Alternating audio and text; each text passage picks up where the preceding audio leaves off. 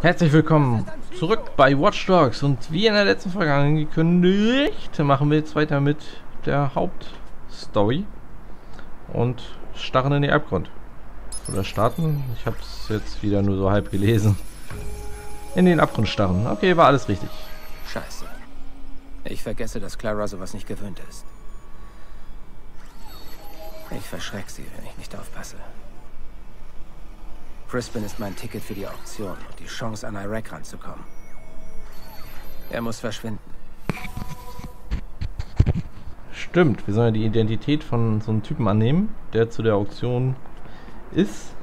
Und der ist gerade beim Autohändler und wollte sein Fahrzeug abholen. Und ja, dabei sollten wir ihn ähm, deaktivieren. Der Ort ist zu öffentlich.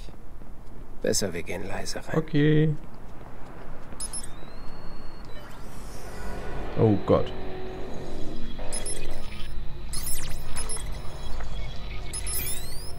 Nein.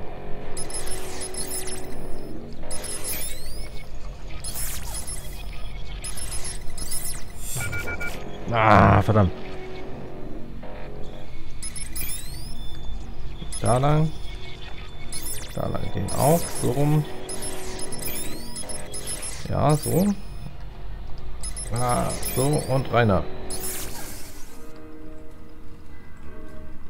Mr. Quinn möchte, dass Ihr Besuch in Chicago ein denkwürdiger wird, Sir.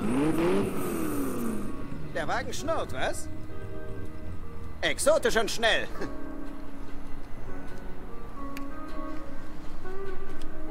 Mr. Quinn wusste nicht, welche Farbe Sie mögen, also wählen Sie selbst.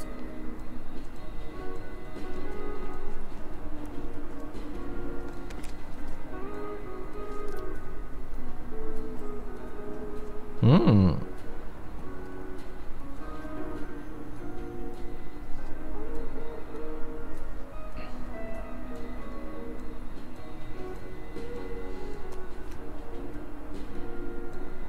Der ist es. Okay. Wenn ich zurück bin, steht er bereit. Schick. Der ist exotisch. Nicht die andere Er hat die Agenda auf dem Handy.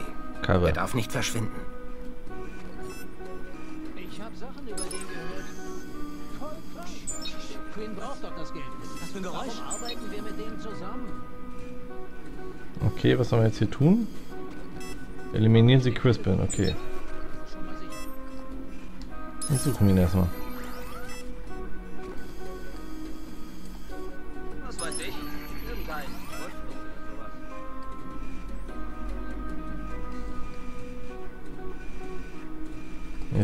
Drin, was man nutzen könnte, ihn zu eliminieren.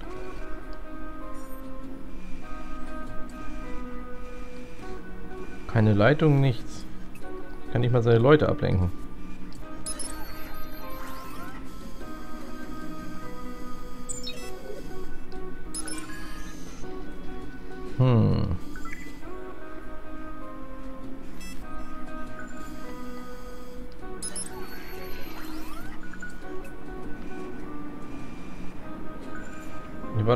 Ein Dampfrohr, oder? Scheiße. Crispin!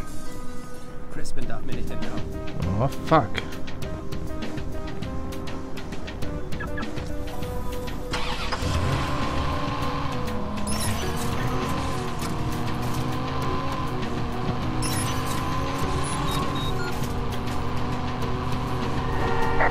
Paar Männer her. Klar. Wir stoßen jetzt dazu. Tada! Er ist aufgestiegen. Er ist bewaffnet.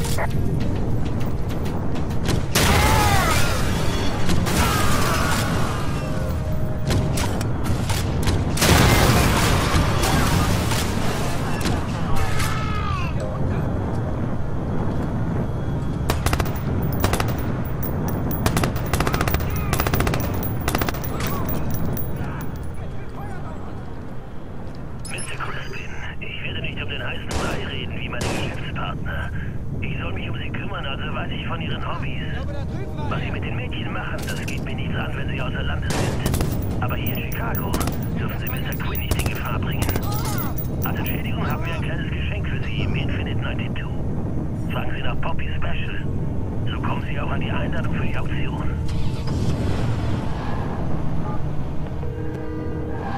Crispin war auf dem Weg, sich etwas abzuholen, namens Poppy Special in einem Club namens Infinite 92. Infinite 92.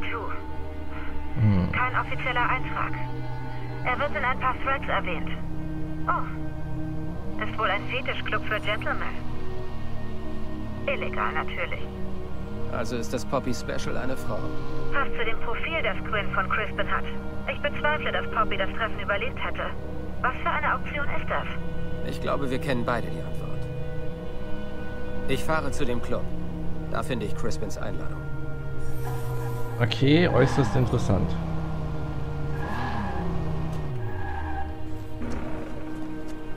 Kann ich mir das... Ja, während einer Mission geht das ja nicht.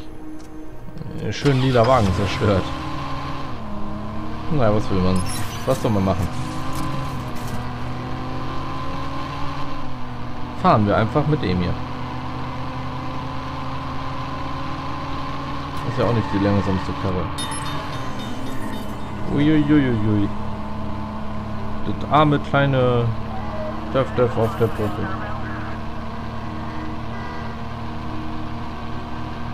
Ach, wenn man auch in Wirklichkeit so die Straßen fahren könnte, das wäre so herrlich. Wenn die Straßen überhaupt mal so breit wären, dass man so sich zwischen zwei Autos durchschlängeln könnte. Nein. Passt ja gerade mal ein Auto gerade so auf eine Spur. Ja. Mann. Oh, der wollte mich umbringen. Der Drecksack. Oh. Hier ist anscheinend auch eine Leiche irgendwo. Das schauen wir uns mal an. Bevor wir in den Club gehen.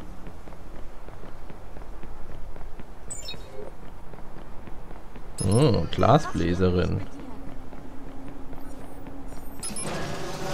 Na. Oh. Soll sogar hier oben sein. So einiges, glaube ich. Ui. Schon 14 von 23 Song Sneaks. So, hier sollte das aber sein. Gut. Ich bin verkleidet. Für den Monsterball. Kontrolle behalten, so wenig wie möglich sagen. Wenn Crispin wirklich so kaputt ist, errege ich Aufmerksamkeit. Nur die Auktionseinladung finden und dann weg. Ja, das machen wir gleich. Jetzt nur kurz. Ist keine Leiche da, sondern. Boah. Komplizierter geht's nicht.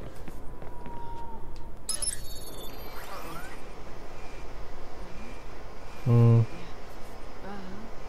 Da oben haben wir noch eine Kamera. So. Dann holen wir uns kurz die Waffenkiste hier raus.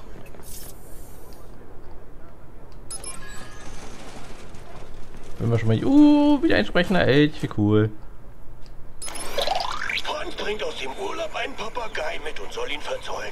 Der Zöllner liest laut aus den Bestimmungen vor. Papagei ausgestopft, zollfrei. Papagei lebendig, 300 Euro. Da kreucht der Vogel aus dem Käfig. Hey Leute, macht jetzt bloß keinen Scheiß. Okay. Ich finde ihn super. Der Richter fragt die Blondine, verraten Sie mir bitte, Fräulein, warum Sie auf Ihren Jagdgefährten geschossen haben.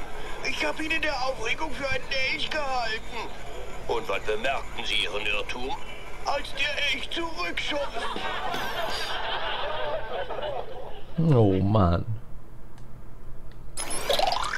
Bringt aus dem Urlaub einen Papagei mit und soll ihn verzollen. Der Zöllner liest laut aus den Bestimmungen vor. Papagei ausgestopft, zollfrei. Papagei lebendig, 300 Euro. Da kreucht der Vogel aus dem Käfig. Hey Leute, macht jetzt bloß keinen Scheiß. Oh, 7 von 10 schon. Okay, der Elch hat offensichtlich nur zwei Witze drauf.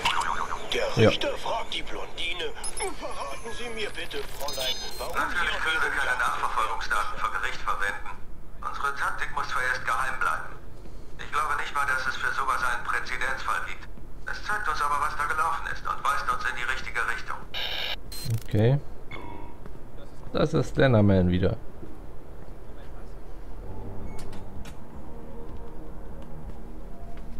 Das Poppy Special. Sehr gut, Mr. Crispin. Ein besonderes Gericht extra für Sie zubereitet.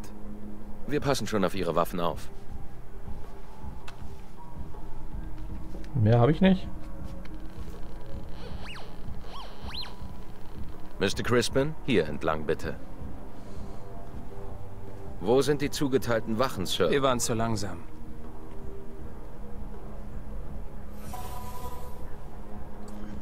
Dann folgen wir mal dem Wirt. Na, was ist denn das hier? Ein Raucherlokal.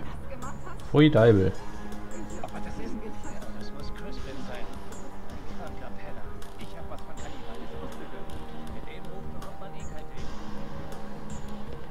Mr. Quinn wollte sicher gehen, dass Sie sich wohlfühlen. In seinem Namen bieten wir Ihnen eine Aufmerksamkeit. Wir wünschen Ihnen viel Spaß damit.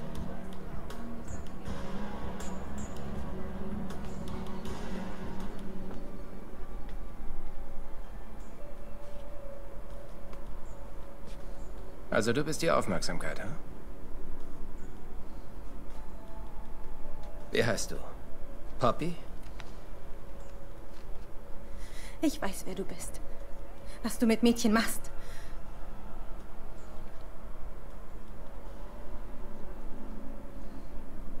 Nein, es ist nicht.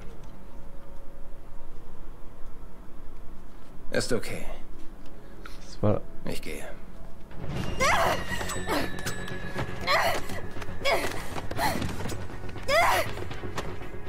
Mr. Crispin, alles zu Ihrer Zufriedenheit? Noch eine Störung und Sie sind dran.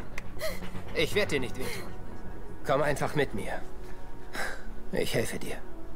Nein! Die finden mich. Sie sagten, du bist ein Monster. Bist nicht Crispin. Oder? Mein Name ist Pierce. Was war das für ein Tattoo?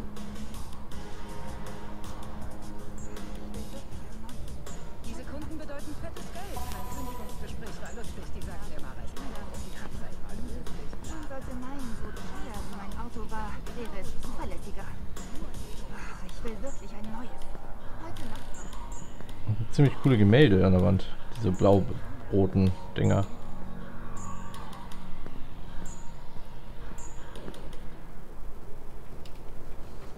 Meine Waffe.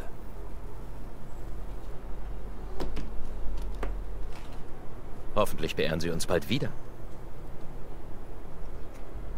Na, ich weiß ja nicht.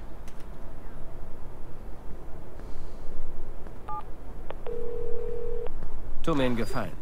Ich muss Poppy aus dem Laden rausholen. Ruf den Club an, gib dich als Crispins Assistentin aus. Sag, dass ich wünsche, dass mir Poppy bei der Auktion geliefert wird. Ja, okay. Sie wird da sein.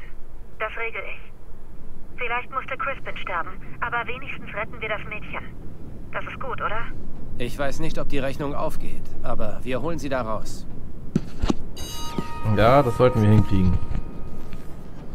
Das arme Kind. Da haben wir den lilanen Flitzer.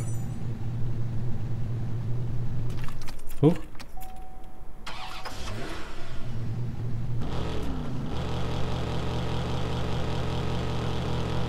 Oh. Sonderlich viel Power scheint er nicht drin zu stecken. Aber schick ist er. Guti, schauen wir uns mal.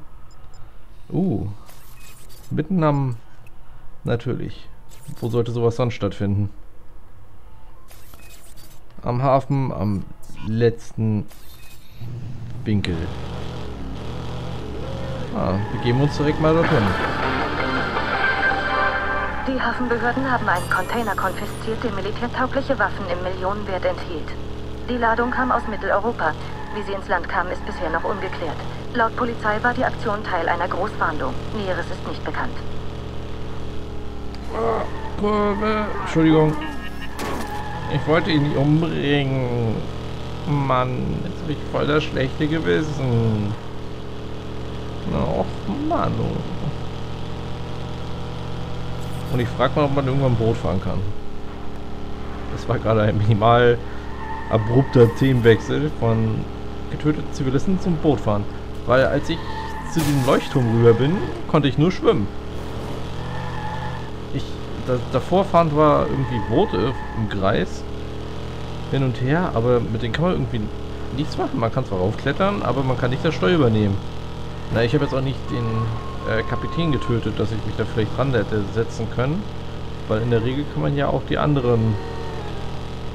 Äh, man kann ja auch die Fahrer aus dem Auto ziehen. Muss ja nicht unbedingt umbringen dafür, dass man's, dass man damit weiterfahren kann. Darum dachte ich, das würde beim Boot auch so gehen und habe es nicht weiter versucht. Aber es sind ja auch schon andere im Boot gefahren. Also hier in der einen Mission vor uns mit dem Boot einer durch die Gegend gedüst. Das wäre wirklich... Das interessiert mich. Oh Gott, ist das hier eine enge Brücke. Du Sack. Oh. Du wirst jetzt auf der Brücke verhungern. Weil ich das so will.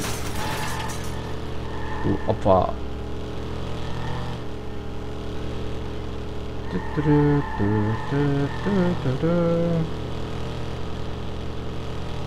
Und den Hafen hat es gleich erreicht. Nüt, nüt, nüt, nüt, quietschende Reifen. Wenn ich in eine Kurve fahre, quietscht mein Reifen nie so. Ich mache irgendwas falsch. Quins Auktion. Oh, nette Fahrzeuge. Ist irgendwo da drin. Die Security ist streng und die Geschichte von dem Autohändler wird sicher bald berichtet werden. Ne, aber... Iraq finden, seine Marke scannen und nichts wie raus da.